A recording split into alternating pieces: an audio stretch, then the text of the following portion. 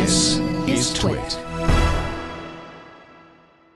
Here in the Panasonic booth, I'm talking with Carl Demands, the product manager, one of the product managers here at Panasonic Pro. Uh, and one of the three things we're going to look at today is this ultra short throw projector that's uh, being displayed right here behind us within a rock wall. What can you tell us about it? Uh, it's actually one of the greatest products that we have here at Panasonic. It's an 8500 ANSI lumen WUXGA projector that has an le- interchangeable lens that is the world's shortest throw lens, 0.038 throw distance, which means you can project 150 inch image in about four feet of throw distance. What we've done here is taken it one step further. You're taking an incredibly bright 8500 ANSI lumen, hanging a second projector, mapping it directly over the first, and doubling the bright out brightness output. So it can compete with the showroom floor pretty easily.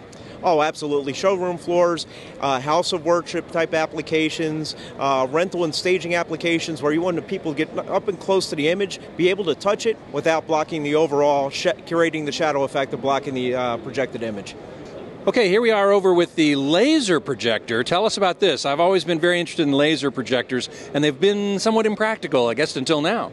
Oh, that, that's for sure. Actually, one of the greatest limitations in projection technology is the fact that, you know, once every six months or a year, you have to get up there and replace a lamp. Well, the new laser technology means that we have a lamp free projector uh, available to the market. You're talking something that runs about 20,000 hours without having to replace any filter, any lamp, anything at all. Now, at 20,000 hours, it's not a product you want to get rid of. It's still going to look good for you. It's just not going to be as bright as we would want for the spec.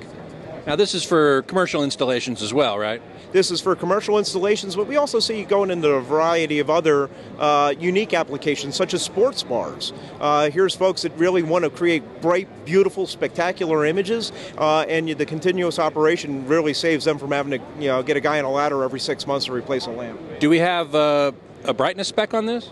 Sure, it comes in at 6,000 ANSI lumens. Uh, basically, it will support uh, a number of different inputs, including HDMI, DVI, DisplayPort, and actually Digital Link, which allows you to uh, push full 1080p content with audio and control over a single Cat6 cable to really simplify your installations. And what's the native resolution here?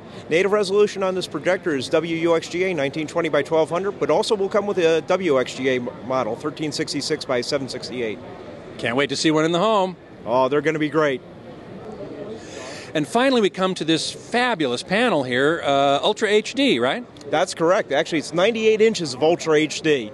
Incredible in- image quality, true 4K. What you see is native 4K content being displayed on a panel that basically is 500 nits. It's ruggedized for commercial use. One of my favorite demos would be try that with the consumer set. I would not. But fundamentally, we're trying to bring it into the commercial world for where you want to really have great detail, great contrast ratio, actually world class uh, contrast ratio coming out of a full 4K panel. And uh, 10 bit panel, I believe, right? 10 bit video processing. We actually have the spec is not yet quite finalized on it yet, but world class contrast ratio higher than what you would see out of most native panels of its kind. I don't suppose there's a price tag on it yet, is there? Not yet. Come back to us around September timeframe, and we'd be more than happy to quote it for you. I'll be here. Thanks so much. Thank you very much.